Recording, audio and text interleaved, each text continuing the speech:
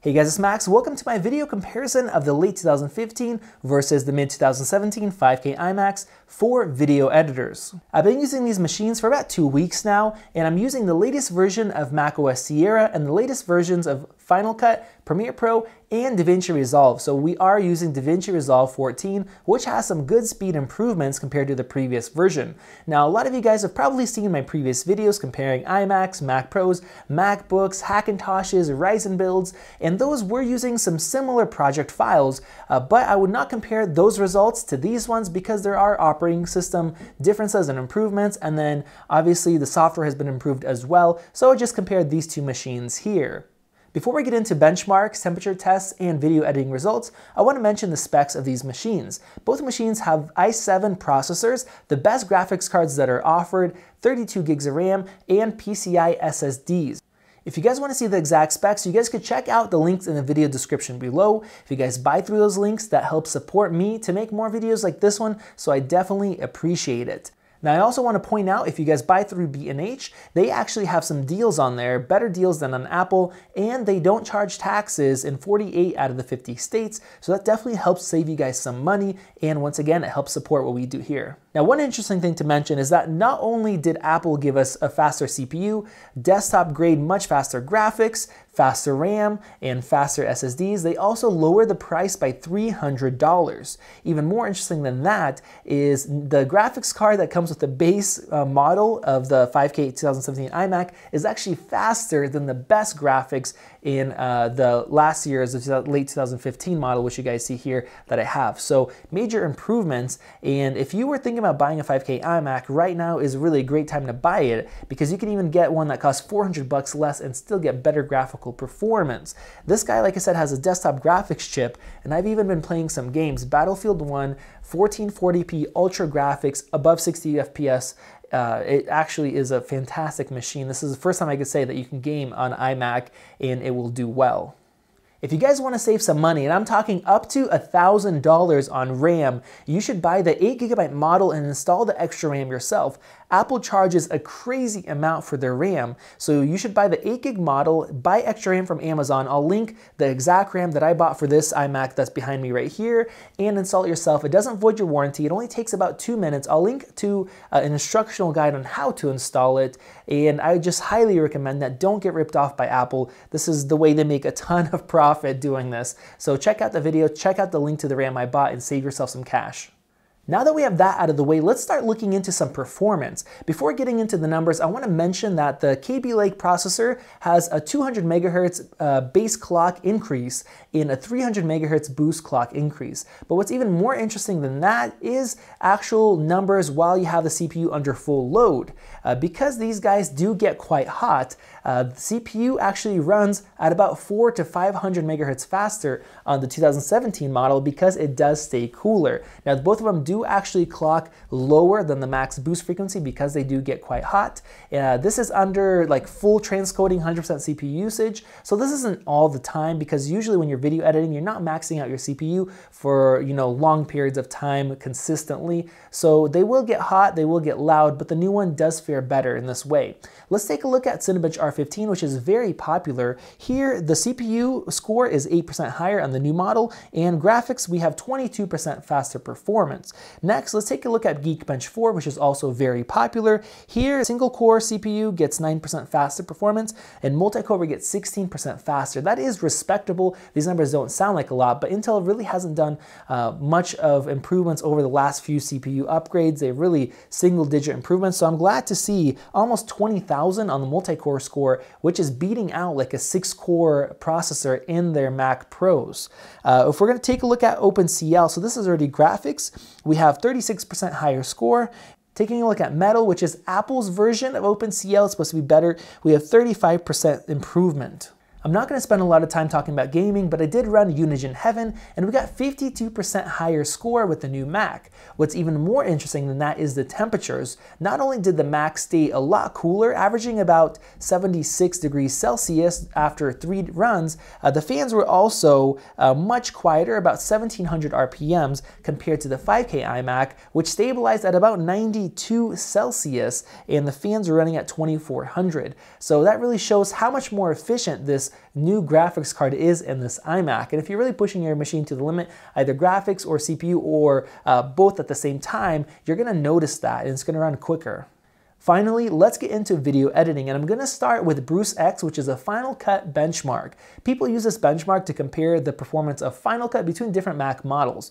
If you've tested your Mac previously, I would suggest do it again running Sierra because the numbers did change. So don't base other numbers with these tests you guys see here. Now the older iMac took 27 seconds to render, the new one took 15 and a half seconds, which is 75% faster. Now to give you guys a reference point, my previous Mac Pro that I paid $5,000 for, which had a six core processor and two D700, the best graphics cards that they had available for it, takes 24 seconds running High Sierra and the latest version of Final Cut. So this new iMac is basically a beast in Final Cut. Let's start looking at some project files. We're gonna be looking at Final Cut, Premiere Pro, and Resolve all at the same time per specific project file. And you guys are gonna see the results of each machine. That way you guys can compare the performance of each machine with each uh, editing program to see uh, how the editing programs compare, how the machines compare, and to see if it's worth upgrading for you. Let's start off with stabilizing a 20 second 4K clip. This is something that I do often because I love my shots to be perfectly smooth. Here in Final Cut, we see an improvement of 80% with the new iMac only taking 8 seconds Yes, that is correct. Eight seconds to stabilize this 20 second 4K clip. Premiere Pro, we see only 15% improvement.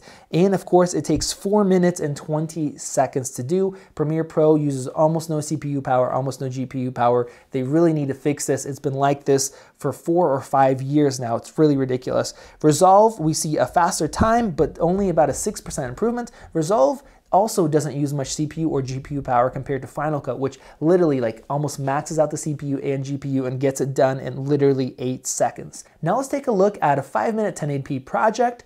This is footage from an A7S II. We have two LUTs and film grain applied, and we have background rendering turned off in Final Cut. So with these programs, they have to render this out and then export it. So here we see a 67% improvement in Final Cut, 11% improvement in Premiere Pro, and 42% improvement in Resolve. Going forward, you guys are gonna notice like a common theme here. Next, let's take a look at a similar project, but in 4K, 5 minutes long with two LUTs and film grain applied. In Final Cut, we get 45% faster speeds, 12% faster in Premiere Pro, and 52% faster in DaVinci Resolve.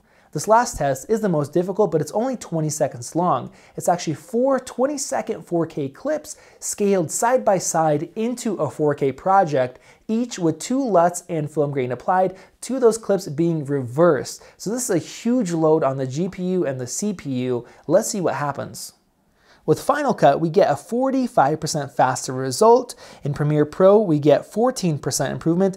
In DaVinci Resolve, we see 235% faster rendering. Now, I had to do this multiple times. Uh, this is just shocking how fast it pulled through this. The last version of DaVinci Resolve 12.5 took about 10 minutes on similar hardware to do this, and now we're looking at 38 seconds. So DaVinci uh, Resolve has been updated, it works so much faster, and it's taking massive use of this new graphics card rendering this out. So this isn't like Apple numbers, I wanna make sure you guys understand this. It's not like uh, Apple inflates if it's 30% better, they say 130%. This is legitimately 235% faster. Rendering performance is very helpful, but doesn't paint a full picture of your video editing experience because a lot of times you're importing footage, you're uh, scrubbing through, you're playing back, or you're waiting to render before you can play back and see uh, what your footage looks like. Uh, so I took a look at timeline smoothness. This is a 4K project with two LUTs and film grain applied, the one we used previously for the test. The 2015 iMac was able to play one LUT and film grain at full resolution. This is better quality, uh, full resolution 4K and uh, play it smoothly without any rendering needed. With the new iMac, we're able to do the same thing, but three LUTs applied. Not only did it do the two LUTs, it actually did three, so that's a major improvement there. In Premiere Pro at full resolution, the previous iMac was able to pull off one LUT in film grain and not drop any frames. The new one can still only do one LUT in film grain. It gets close to doing two, but it does drop some frames. Of course, you can drop your resolution down to uh, one half or one quarter and get much better playback when then both of them machines do equally well. Uh, and on Final Cut, you can drop down to uh, better performance instead of better quality and get a softer image, but it'll play back. With DaVinci Resolve, it really got interesting. The previous iMac was also able to do one LUT in film grain without dropping any frames, and this is a 4K timeline. The new machine was able to do six LUTs in film grain without dropping any frames perfectly smooth. I was in disbelief. I tested this multiple times to make sure, and it is going extremely fast. I was honestly shocked. Uh, they really just figured out how to make use of these new AMD graphics chips and it's amazing. So if you're editing on a previous iMac and you're color grading and you're not happy with the performance, this thing is insane. I wanted to test this further, something I haven't tested in the past. I took that project with four 4K files, uh, super sampled into a 4K project each one with two LUTs and film grain applied with two of those reverse. This is insane on your graphics card. Um, so previously, uh, with the old iMac, Resolve was able to do about nine frames per second. It's unplayable. The new one, it didn't it didn't do it perfectly, but it jumped between 28 to 30 frames per second and almost pulled it off. Premiere Pro won't even play this. Uh, Final Cut, the previous version wouldn't play. It was better in Premiere Pro. It, it was just super choppy. Uh, the new iMac with uh, Final Cut, it's also really choppy, better, but unplayable. And this new one just eats through it. So after weeks of using these machines and spending multiple days and countless hours testing and retesting and formulating all this, uh, hit that thumbs up button if you guys appreciate it, by the way. What is my conclusion? Well, if you're looking between buying a 15 and a 17 iMac, there's no doubt about it, go with the 2017. I know you can get the refurbished 2015 model or you can buy one at a discount from B&H for a good price. It still isn't worth it. The new model got a $300 price drop if you're comparing the same exact specs, so that helps you get into it at a lower cost and of course, it has a faster and cooler processor, faster and much cooler running graphics card, uh, faster RAM, faster storage. Uh, even if you're using Premiere Pro where we didn't see too much gains, I think it's still worth it. Now, on the other hand, if you have a 2014 or a 2015 5K iMac, is it worth upgrading? Well, if you're using Premiere Pro, I would say no, at least not yet. Uh, Adobe keeps adding new features, but they're not optimizing their software. That's why I left Adobe Premiere Pro after using it for multiple years, switched over to Final Cut because the optimizations were terrible. I switched over to 4K and the editing experience was horrible. Now, if you use Final Cut and you make a living video editing, I think it's definitely worth selling your previous iMac and buying the new model.